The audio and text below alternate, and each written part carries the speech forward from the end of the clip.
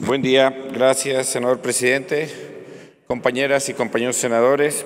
Hoy, el día de hoy ha sido un debate muy, muy largo. He escuchado muchos comentarios desde algunos senadores al inicio de la discusión que decía, es que recuerden lo que nos ha hecho al INE como movimiento, por eso es que tenemos que acabar con toda esa corrupción que existe en el INE.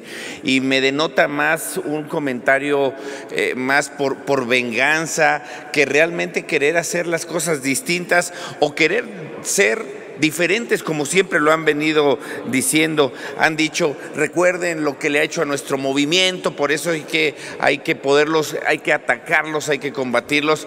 Yo nada más les recuerdo que este INE, del cual se han quejado tanto y tanto y tanto, fue el que le negó el registro al partido del presidente Calderón y Margarita Zavala. Este INE fue el que le negó el registro a ellos. Y estas modificaciones a mí me preocupan mucho porque lo que hoy se tiene el INE ha sido por el enriquecimiento de las ideas de quienes en ese momento han sido oposición. La izquierda en el momento que fue oposición contribuyó a tener algunos de los mecanismos que hoy tiene el INE, el PAN cuando fue oposición también, y hoy me, me extraña mucho que quienes están en el gobierno se olvidan prácticamente de todo esto que, antes teníamos. Hoy con esto nuevo, algo que nos habíamos quejado todos cuando fuimos oposición fue permitirle que el gobierno pudiera hacer promoción política en beneficio del partido al que representa.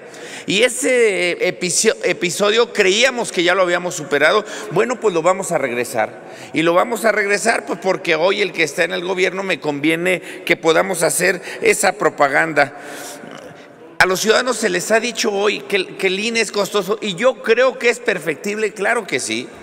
Y hay que recordar que la Cámara de Diputados tuvo la oportunidad ahora el pasado presupuesto de egresos de la Federación, pues de haber corregido temas como, como, como el tema de las remuneraciones que probablemente eh, puedan ser excesivas del Consejo del INE, pero no por eso tenemos que estigmatizar que todo el INE es costoso y hacer creerles a los mexicanos que los 3.500 millones que se dice que se van a ahorrar por esto, eh, eh, el ciudadano se va a ver beneficiado. Y miren, déjenme les doy un dato.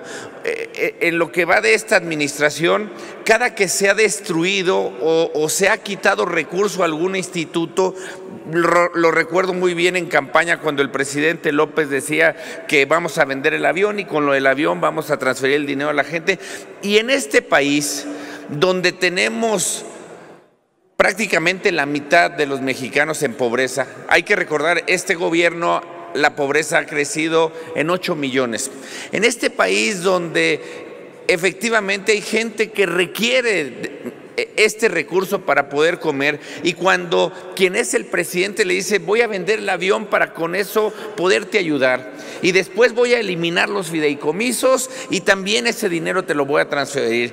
Pero también déjame decirte que el INE cuesta mucho y le voy a quitar el INE. Escuchaba yo al coordinador de los diputados de Morena y eso lo vamos a transferir para las quimioterapias para, para los niños.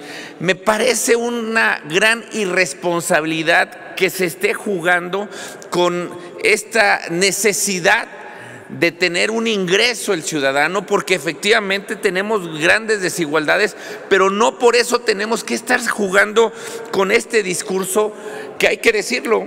Este gobierno también decía que con los 600 mil millones que se ahorrarían por el tema de la corrupción, este gobierno no lo habría endeudado. Yo lo dije aquí en tribuna y se los digo nuevamente, 3.7 billones ha pedido de deuda este presidente. Entonces eso de lo del avión, los fideicomisos, los organismos autónomos, todo lo que dice que la austeridad republicana se ha, visto, pues no vemos que realmente haya contribuido a combatir la pobreza, pero sí a crear esa falsa expectativa del mexicano que tenemos que desmantelar todo porque en la manera que podamos desmantelar las instituciones, ese dinero me va a venir eh, de golpe.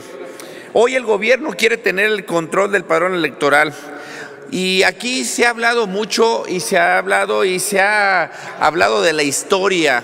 Se habla del fraude del 88, aquel fraude del 88 que quien es hoy el titular de la CFE, Manuel Barlet, fue el que orquestó eso. Y esto fue un logro de poder tener un padrón ciudadano de muchos ciudadanos que militan en la izquierda, que siempre estuvieron en la izquierda, del ingeniero Cuauhtémoc Cárdenas, de Berto Castillo, pero también de personajes que en ese momento éramos oposición y me refiero a Manuel Clutier, a don Luis H. Álvarez, a muchos hombres y mujeres que desde sus trincheras estando en oposición empezaron a poner estos candados al gobierno para que el gobierno no tuviera el control total de las elecciones. Y hoy lo que están proponiendo precisamente es volver a esos esquemas del pasado que ustedes combatieron durante mucho tiempo y que hoy que ya son gobierno, les parece muy cómodo poder regresar por una simple y sencilla razón, porque dicen somos diferentes. No, eso no hace que, que, tengan ustedes el derecho de poder cambiar las reglas a su antojo. Tendremos hoy un riesgo muy grave, un árbitro que no va a poder sacar ni tarjeta amarilla ni tarjeta roja que va a poder hacer cada quien lo que quiera. Y eso sí es un grave problema. Y ustedes lo saben cuando han sido oposición el no tener un árbitro que pueda sancionar, esto realmente lo único que va a hacer es que el ciudadano empiece a desconfiar de la autoridad electoral y empecemos a tener menos participación ciudadana. Va a ser complicadísimo fiscalizar el dinero que llega a las campañas. ¿Y saben cuál es el peor riesgo que vamos a tener? Pues que llegue dinero del narco, que llegue dinero del crimen organizado porque en este país donde ya tenemos más de 50 millones de mexicanos desgraciadamente en pobreza, muchos mexicanos están esperando desgraciadamente la campaña para poder recibir aquello que ustedes tanto se quejaron de las despensas con gorgojo. Bueno, pues hoy lo que quieren es institucionalizar las famosas despensas con gorgojo, precisamente quitando esta facultad de poder fiscalizar. Fíjense nada más lo grave que es esto lo grave que es esto. En este país donde eh, tenemos desgraciadamente esta pobreza, pues esto va a ser un caldo de cultivo, no para el que tenga las mejores propuestas para gobernar, sino para el que tenga más dinero para regalar y repartir. Y entonces las campañas estaremos regresando a aquello que creíamos que ya habíamos superado y que estábamos trabajando. Y el tema de la transferencia de votos me parece realmente, y, escuchábamos, el propio presidente de la República dijo que él no estaba de acuerdo en eso. Mire nada más, en el, eh, en el año 2000, estos partidos o un partido de ellos, el Partido Verde, y lo quiero decir muy claro, se alió al PAN para poder eh, ganar en ese entonces Vicente Fox. Y en el 2012 se alió con Peña Nieto. Y en el 2018 se volvió a aliar con el PRI. Pero cuando ve que empieza a caer y la debacle, me alío con quién? Con el partido en el gobierno, porque es la única manera de poder vivir y trascender. Y ese sí es un grave problema, porque esta cláusula de la vida eterna, donde nosotros pusimos que teníamos que tener un 3% para que el partido pudiera tener la, la, supervivencia, bueno, pues hoy va a ser muy fácil. ¿A quién estamos beneficiando? ¿Al partido o al ciudadano? ¿Cómo vamos a saber qué pensó el partido si va a, votar en un recuadro por los partidos coaligados y no como actualmente lo tenemos que cada quien le transfiere? Probablemente me gusta el candidato, pero no el partido que está coaligado y así sucede. Hoy ustedes están siendo rehenes. Hoy Morena está siendo rehenes de ese chantaje, están siendo rehenes de esto que creíamos que ya habíamos superado, de ese 3% que todos nos pusimos precisamente para eso. Y hoy lo que sucede es que vamos a tener partidos franquicia que va a ser más fácil coaligarme con el, con el partido en el gobierno. ya hay un partido que lo ha hecho así. Concluyo, senador presidente.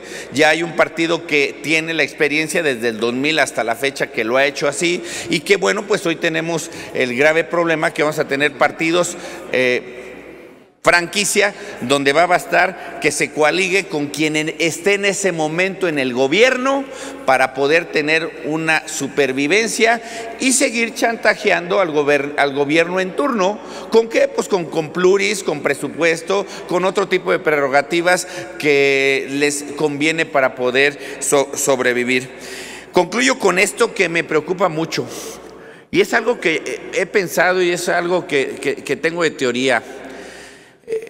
En los gobiernos de izquierda, lo quiero decir muy claro, tal parece que algo que sucede es que quieren tener o permanecer la pobreza, porque en la medida que se elimina la pobreza, empieza a disminuir la izquierda o los partidos de la izquierda.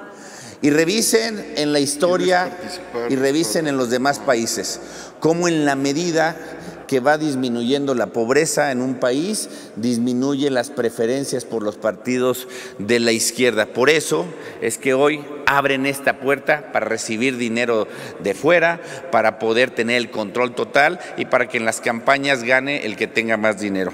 Gracias, senador presidente. Es cuanto.